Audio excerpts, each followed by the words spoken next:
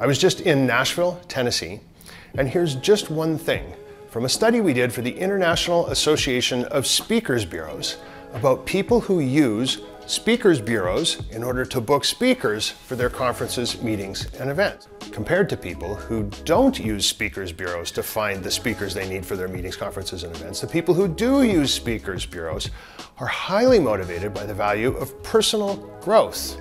These people want to be a better version of themselves every single day, and they're magnetically attracted to anything that gives them the opportunity to be better and better and better. So, as a speakers bureau, how can you use this? Your bureau using clients, the folks who are your bread and butter, they want to grow and learn and become a better version of themselves.